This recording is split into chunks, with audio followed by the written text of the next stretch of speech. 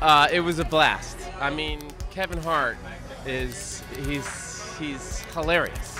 I mean, he's as hilarious as you would imagine him to be.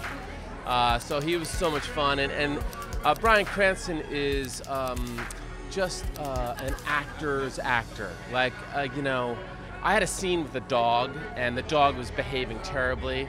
And I just looked in his eyes, and he just looked at me, and he was like, "Bro, I, I feel you." And I, I don't know. There's just something about Bryan Cranston. He's just such a wonderful guy, and uh, such a wise, seasoned actor. Neil is such a great director, Neil Burger, and he really didn't focus on. He didn't. He didn't want us to be funny. You know, he just wanted us to be real and be really good and let the humor come out of um, having a good scene, which uh, I really appreciated.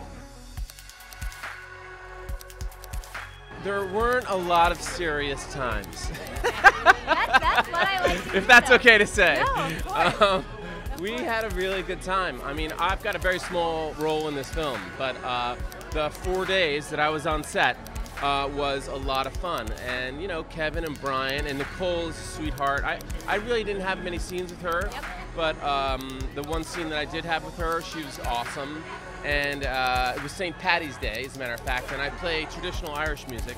So I borrowed a violin and I played for the whole cast, and it was a lot of fun.